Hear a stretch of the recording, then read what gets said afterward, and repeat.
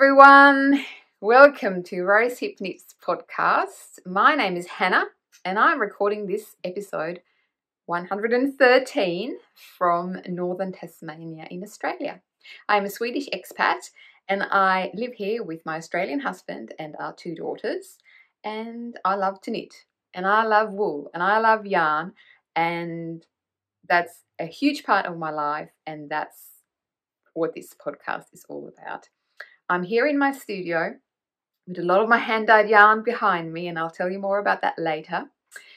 But this podcast is a way for me to get to talk about these things that I really love and really enjoy, and have someone um, maybe also interested in the same type of things listen and interact with me in different ways. And uh, yes, this is me time for me. This is something that I really, really enjoy, and I try to take time for this as often as I can, which sometimes more often than other times.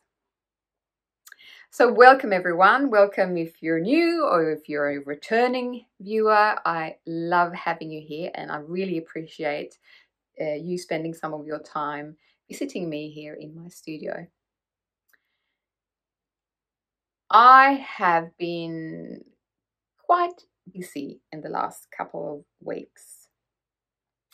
In is it four or five days from now?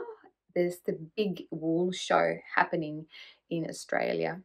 It's on the weekend of the 17th to the 20th of July, and it's a big online virtual market and show there'll be workshops and, and speakers and just different things happening. So it's a big event and it's been organized as a way for everyone in the fiber industry and wool and knit, knitting interested people to have an event um,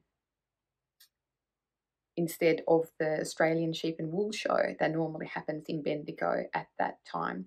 But that's cancelled this year due to the pandemic. So, um, I mean, I think it's a fabulous idea that someone has taken the time to create something that will hopefully um, be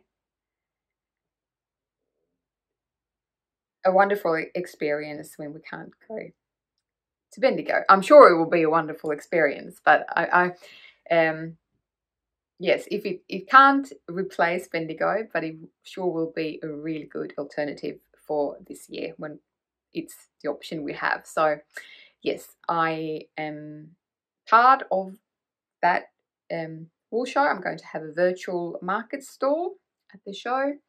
And so I have been preparing for that show um, in the last few weeks. So in my last episode, a lot of things had just recently happened in my life, and I was talking about it, but in the end, I just cut it all out when I was editing the video because I thought it was just a bit self centered, really.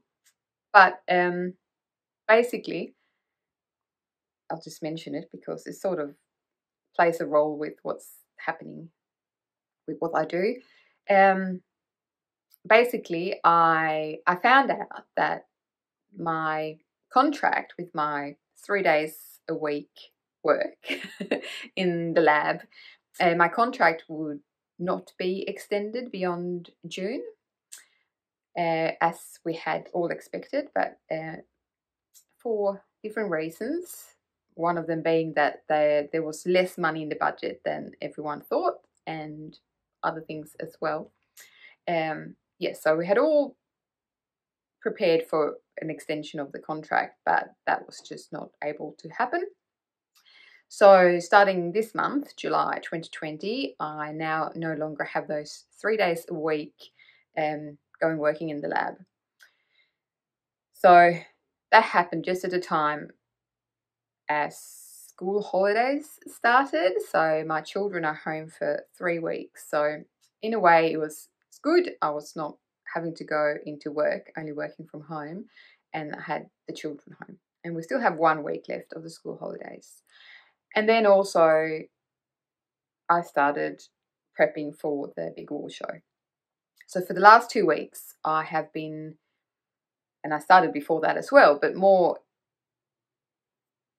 intensely, I have been preparing for the wool show since my children and I have been home. So it's been a balancing act having the children at home and uh, doing things with them and prepping for the show. But in a way, so far, it's been good. That I haven't had my three days a week to go into work.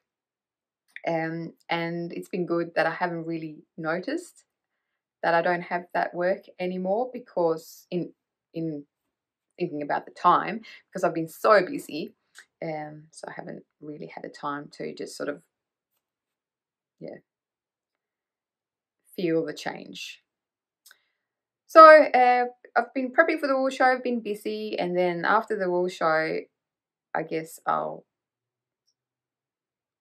have to see what I can end up doing. We'll see what happens, see what other things are, other opportunities are out there. So that's what's that's what's going on. So yes, but I've been busy, so it's been it's been good. It's been crazy. It's been good. In a way, I wish that I could just have a week off just to myself, not really doing much except for knitting. but maybe that will come um, after the school holidays and after the wool, wool, the big wool show. We'll see. So, oh, I should mention that for the big wool show, I did create a short six minute video for the actual virtual market stall that I have sent to the organizer of the big wool show, and they've you know they've put out uh, for people to be able to watch it as part of the event. But I have also um, today actually recorded a video like a walk through my virtual market stall. So I'm just going to post that here on my YouTube channel. Um, and I, I realized that, I don't know, it might not be interested to people that are not Australian or it might be, it might just be a fun thing. But I have basically recorded this video showing a lot of the stuff that I have available in my shop. And uh, that will be also on this channel. So, this is a normal podcast episode, and I am going to show you some of the things that I have been working on lately. I've been doing quite a bit of dyeing. This is my new merino linen single yarn. Um, I have been doing a lot of dyeing of that, but I also have been able to fit in some knitting, of course. So I'm excited to share that with you. I'm standing up today. It's, it's weird, isn't it? But um, it's just how I had things set up for how what I've been doing for the wool show. So I thought I'd just try it out and see what happens. I'm wearing my Love Note sweater by Tin Can Knits, and I made this out of my own hand-dyed yarn in fingering weight and also a merino mohair, no, a mohair silk lace weight uh, yarn. The two of them held together. I love this jumper so much. It's so soft and it's bright and fun and it makes me happy when I wear it. Okay, so I have finished a few things. Um, looking at my pile here on the table, there's a lot of socks, which surprises me because I don't feel like I have been doing a lot of sock knitting. Um, I finished my June socks for Free Socks 2020, the knit along by Kia. And the June pattern was Petit Fleur by I'm a Whale. I think is the name, yes. Um, so I have two of those. and I used Aussie Farmer Market's uh, yarn, a beautiful variegated purples and blues and greens, pinks which was a um, skein she did for the Tits Out collective, the charities, charity dyeing that a lot of indie dyers did, maybe last year. This was a skein that I actually won in a giveaway for a sock knit long. And I just combined that with a white, normal white paste nail sock yarn.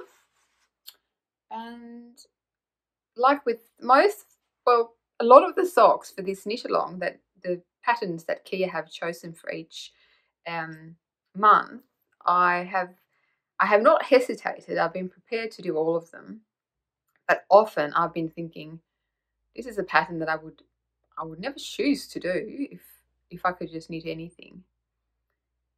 But with all of them, I've been very happy to have the finished socks. Some of them have been more challenging and not all of them very exciting to knit. Um, but this was a sock that was actually very nice to knit. When I first looked at it, I thought, it, oh, that would be just complicated. That would take that would take so long. But it's actually a quick, quite a quick knit. Um, create the colour work with slip stitches. So only work with one colour at a time. So I really enjoyed making those. And then I did a quick little slipper sock after I finished that one at the end of June. And I made the Joe's Perfect Slipper Sock by Cozy Up Knits. And do I have, let me see. This yarn is a DK weight sock yarn from Novita. I used 50 grams making a pair. It's just one strand of DK. And the yarn is the Novita Moomin. So I don't know if it's inspired by Moomin or if they just call this range of yarn Moomin. So they're really fun. They were such a quick knit. I think I made one in an evening. And I really like how the whole heel construction worked. The heel is short row with twin stitches, similar to the Fish Lips Kiss heel. But how the, the there was like a flap and then short rows and then picking up in the gusset. So it was really fun. And they they're really good fit on the foot. So I made those, which was a nice fun thing. And in the pattern, um, I think originally they made them holding two strands of fingering weight yarn together.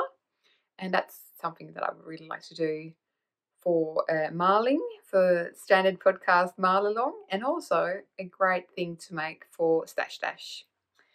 So I've mentioned those two uh, knit alongs that I am part of. So that was those slipper socks.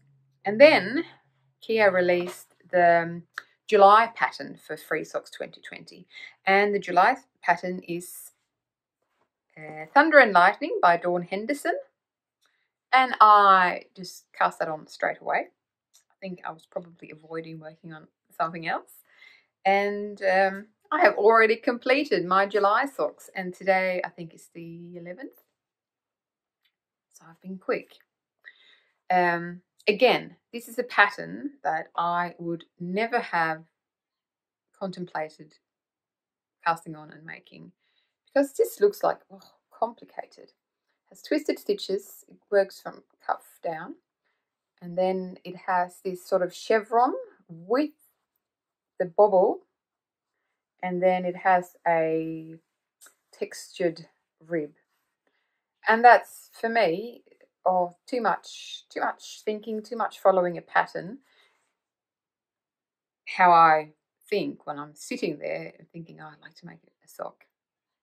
But actually, having all these different parts of the sock made me, you know, it's like self striping socks. You want to go to the next stripe, you want to go to the next section in the pattern. Um, so I did this quite quickly and then worked through the foot. When I had finished the gussets of the foot, this last bit here took a little bit of time because then it was just the same again. and I think uh, I managed to get quite a tight gauge, so it, it was a lot of knitting to get the correct length. But uh, yes, I have completed those two, and the yarn that I'm using, or that I used, was a um, half a skein of Circus Tonic handmade yarn, Crested Dove or something. What was the colorway? I bought a skein of these um, at the stash cupboard in Hobart when that shop was still open years and years ago. And I used half of the skein for a pair of um, crochet socks that I did for um, a test crochet for Adidas Design. So I still had 50 grams and I thought when the July sock was a shorter sock, I thought um, I should be fine with 50 grams. And I have about four meters left of the skein. and the reason I had it out was because I'm working on um, a jumper that I'll show you soon. I have shown you before, but it uses a lot of, of leftover sock yarn. So I had all my leftover and partial skeins of sock yarn out. So um, sort of remembered that I had this one and it didn't go with the jumper that I'm making. So um, I'm really happy that I grabbed this skein for these socks.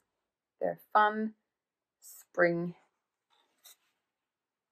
sock, shorty socks. I have, I think I only have a couple of shorty socks, um, but I think they can be quite useful. These ones are a bit thicker, so they're more like an in, inside slipper than something you'd wear with shoes, I think. So that's that one, Thunder and Lightning by Dawn Henderson. So that's, again, a free pattern, like all the patterns that Kia has for her knit along. And did I, that's the three things that I have finished since I last recorded a podcast. Um, then things that I was working on. I have one thing that I was working on last time, and that's the jumper I was just mentioning before. It's my Metropolis jumper. It's a pattern by Tanis Lavallee of Tanis Fiber Arts. I can't remember exactly how far I'd got last time. So this is a bulky or chunky even jumper. Um, in the original pattern, it's just the one strand of a chunky yarn. But um, Tanis has also made a project with notes uh, for a marl holding three or four strands of fingering weight yarn together. Uh, and that's what I have done. So I'm holding four strands of fingering weight yarn together and I'm using 4.5 millimeter needles, but I'm a loose knitter, so I think that's quite a small needle size for this. And I just got all of my mini skeins and partial skeins of sock yarn out. Most of them dyed by me, some of them dyed by friends, and some of them I have purchased from other indie dyers. And I just have been combining them, starting with the lighter pink, and then I went into the blue purple, and then I ended up um, with a dark purple and grey. And um, what I had left of this um, variegated yarn, I have used um, in this jumper. Um, so I have completed the body and now I have to do the sleeves. And I know that when you do something like this, when you're fading or something, you can weigh your skeins as you work the body and set aside for your sleeves um, the correct amount to be able to do the sleeves in the same uh, way as you did the body. And I didn't do that. I just, for every skein I joined in the body, I tried to find something that was very similar and I put that aside for the sleeves. So I have now been stalling on this jumper for about two weeks. Um, I picked up the stitches for a sleeve, but I haven't started on it because I have to now, I feel like I have to think a bit to make the sleeves look similar to the body. And I think I probably have to have a look at all the ends that I have on the inside to see what yarn I've been joining in at the different points. Uh, if the sleeves don't, I mean, I'm not expecting them to look exactly the same, but I just want them to look a little bit similar. Um, but we'll see. We'll see. I, I'll maybe I'll work on this maybe during the big wool show when I'm at home enjoying the show um, maybe then I'll, I'll knit on it a bit. I, I mean, I'm, I'm, I really, one of the main reasons I really want to have it finished is not only because I think it would be beautiful, it's also because I really want to weigh it and see how much yarn I have used. I'm hoping it will be a lot and it will just be great for Stash Dash. So this one I'm making both for Stash Dash, like everything I'm finishing now until the end of Stash Dash, and it's also for the Marl Along by Amy of Stranded Dye Works. That's that one. It's just amazing how the colours that you create by combining different skeins. Just lots of fun. So that's that one. And then I Sorry if I'm wobbling everything. Um, then I have been doing all this dyeing, and I um, had some special things. I did some self striping sock yarn, and that was something that I actually started sort of when the pandemic or it all started up, and I was working from home, and my children were doing school from home, and I was under this crazy illusion that I would have so much time and I could do all these things that I normally don't have time for.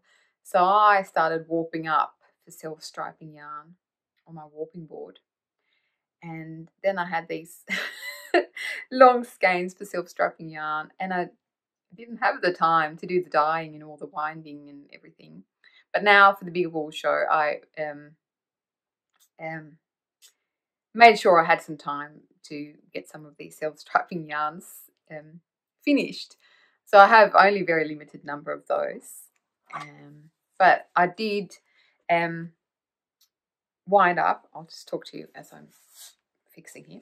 Um, I did wind up a little bit of extra, not full skeins, for some sample skeins for me. So I've been able to knit up some um, samples. So this is one of my self-striping that I have. And I've just used a, a white, same white as I used for these ones. This is like, now I just grab whatever is left in my product bags, it seems like. Um, so that's one of the self-striping. And I had a 30 gram um, sample skein or ball. This one here. This is a full one, but I had a 30 gram one. So I just did the white cuff and then I, I worked just straight until I had used 15 grams, so half of what I had. And um, I sort of checked it and I thought, yes, that would be just long enough for a shorty sock. So then I made the, the toe and then I cut in and did a, a true afterthought heel. Um, and these fit me really well. They're good size so that was that was just really lucky. That was just how it ended up. so I'm very happy with those. I have one of those, but I have enough yarn to make a um, a partner for this one, and then another one that I have knitted up as a sample is is this one, and that's this one here. So I did this exactly the same way and I did one of each. I, I wanted to have a sample of both of them. And it's crazy how much time I'm putting into these samples when really I don't have many of the skeins available. But I also just really like working with um, self-striping sock yarn. So I thought I'll do one of each because I can also use them as a, a pair until I have made um, the partner for each of them. So that's something that I completed and I completed these really quickly in just a couple of days. You know, self-striping yarn and 9-inch circulars just flies off the needles. So that's those. And then the last thing that I have been eating on is also a sample and it was quite exciting uh, for me to cast on because it is made out of the um, merino and linen yarn and I've heard so many good things about this yarn on mainly on Swedish podcasts. There's a um, a dyer in well, maybe be more than one dyer in Sweden that's been dyeing on this yarn base. And um, when I was sort of thinking about what I would like to do for my dyeing business and for my shop and wanted something new and a little bit exciting and just yes do something a bit different and new um i thought this yarn base really is something that i haven't really seen uh, in australia much. So i i ordered some in to dye on and i heard so many good things about it that i thought it's going to be great. So that's the uh, merino linen. So i've dyed up a heap of different colorways a lot of very uh, dark, but also nice and, and and light ones. So I had some, and I had um, had some skeins start up first, just as samples, just to see how they would take the dye and everything. And then um, I was looking for something to make out of the skeins and had three different colors. And I was really tempted to cast on the the Stillness Mystery KAL by Helen Stewart. Um, and I've seen some teasers from that, and it's absolutely beautiful. But I'm not really much of a lace shawl um, user. I don't know. I just have a lot of shawls, and I do wear shawls, but I didn't feel like it would be something. I mean, it could be a shop sample, but it, it was still not. I decided against making it also was three colors and I thought it would take in the lace and I thought I want something that will knit up a little bit faster um, so that I can actually show it soon and I looked through all these things. There's beautiful patterns um, for sort of summer tops making using this yarn base. Lots of nice different shawls and things and it took me days, and then in the end, I settled on a pattern that had been on the top of my queue in Ravelry for a long time, probably the past year. It's been sitting there waiting, and it's the Amber O'Brien Shawl Sherry Chevron, and this you can do it with a, a fingering weight and a um, mohair silk alternating. I'll show you. I've started on this using two of the colorways on the merino linen. And it's a bit messy because I haven't cut off any of the ends. So that's it. This is just a little start of it. But basically you create like a triangle by increasing out and then um, decreasing and creating these um, chevrons. Uh, so you can do it with like this with two fingering weight yarns, but you can also have one of the stripes or one of the colorways as a mohair silk. And I had seen that and that's what I wanted to do. And I had some mohair uh, set aside. Um, and I had some, this is also the merino linen. So I had some skeins that I, I thought these would all be beautiful like that. Um, but then in the end, I decided to use two different colorways of the merino linen because I really wanted to use that yarn.